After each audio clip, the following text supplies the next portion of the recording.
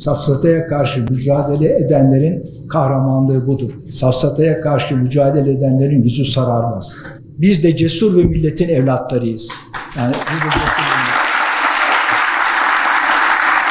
Hacettepe Üniversitesi'nde düzenlenen Bilimde Safsatalar ve Gerçekler etkinliğinde konuşan Vatan Partisi Genel Başkanı Doğu Perinçek, hakikati kimsenin yakamayacağını vurguladı. hakikati yakmak isteyenler olmuştur. Odunların üzerine çıkartıp hakikati savunanları yakanlar, derisini yüzenler. Ama e, şunu başaramamışlardır. Hakikati kimse yakamamıştır. O bakımdan safsatayla bilim arasında, safsatayla hakikat arasındaki mücadelenin sonu tarih boyunca hep bellidir. Bundan sonra da sonu e, bellidir. Ütopya topluluğu Hacettepe Üniversitesi'nde bilimseverleri bir araya getirdi.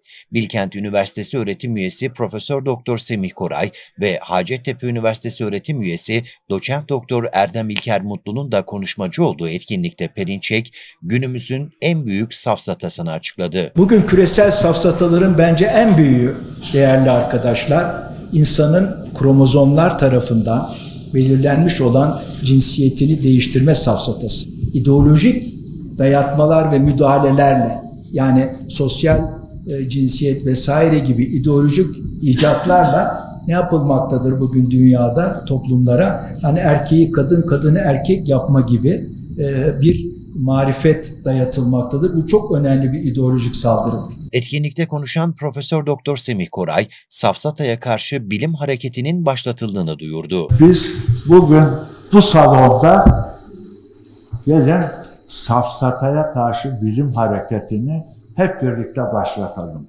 Bu etkinlik safsataya karşı bilim hareketinin açılış etkinliği olsun. Bu etkinlik o bakımdan hakikaten Türkiye'nin hakikaten safsataya karşı bilim hareketinin ihtiyaç duyduğu bu birlikteliğin son derece somut bir göstergesi. Hacettepe Üniversitesi Hukuk Fakültesi kurucularından da olan Doçent Doktor Erdem İlker Mutlu ise üniversitede yapılan etkinliğin önemini vurguladı. Bu güzel etkinliği düzenledikleri için Ütopya topluluğuna teşekkür ediyorum.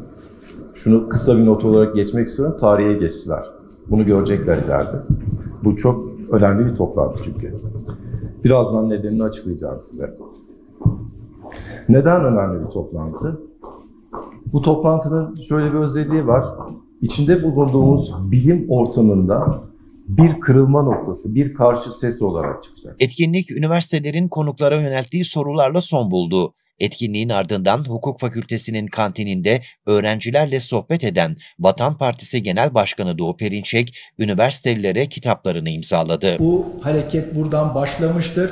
Hacettepe bizim üniversite geleneğimizde bir devrimdir, bir atılımdır, bir efsanedir. Onun için çok iyi bir yerden başlamıştır. Yolumuz açık olsun değerli arkadaşlar. Hepinize sevgi ve saygı.